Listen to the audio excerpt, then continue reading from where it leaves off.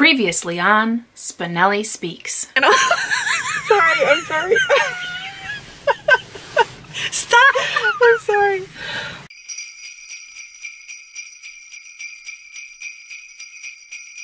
Hi everyone, Danny here. Welcome back to my channel. Today is another day of Vlogmas and I hope you have been enjoying your Vlogmas feed. I have to apologize about the lighting here because I am in a very cozy setting because I am starting my first cozy Christmas read of the month. I'm so excited. I've got my little reading pals here with me. We have Kingston and Dwight. We all have a cozy blanket to sit with as we, or I read. I even have a really cozy ASMR on. It has some Christmas music playing and snow in the background. Um, I will link in the description the one I'm watching. But I'm gonna go ahead and dive into Debbie Macomber's Mrs. Miracle because this is the one that I was most looking forward to read. Um, and I'm just really excited for this. So I have a couple um, of moments here that I can get some reading in. I'm hoping to get maybe halfway through. Who knows? But at the end of this vlog, I'll tell you what I thought of the book as a whole. So, happy reading.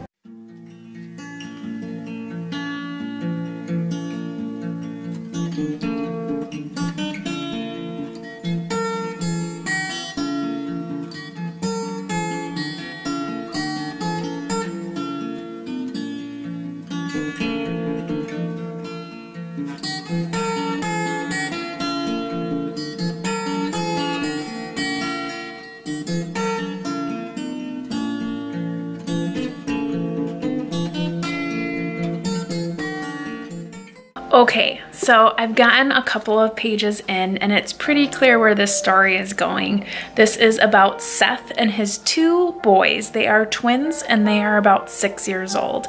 His wife was killed in a car accident, um, so they're on their own and they're going through housekeepers pretty quickly.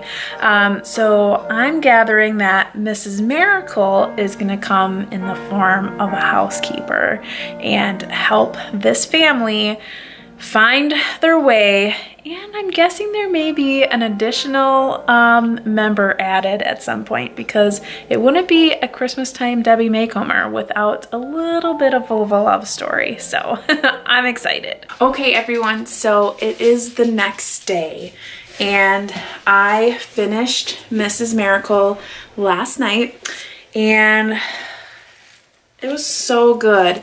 Like I read this in a day because I couldn't stop reading it. It was just so sweet. Um, it's about two people that have been hurt in their lives and that pain is something that they share, but they also share a lot of other things. But it gives them a better understanding of each other and um, their ability to have a second chance. I really love how Debbie Macomber also puts in a little bit of sprinkling of some side characters as well. Um, we get to see the relationship of um, more of a um, an older couple. So this couple is like in their 60s. So they've been married for like 40 years. They're going through some hard times and it's really beautiful how that gets um, interwoven into the story. And then there's one little side character like busybody character and I really like her too because it really reminds you to keep your nose out of other people's business. so anywho, if you're looking for a cute, cozy Christmas time book, um, faith-based, it's really beautiful.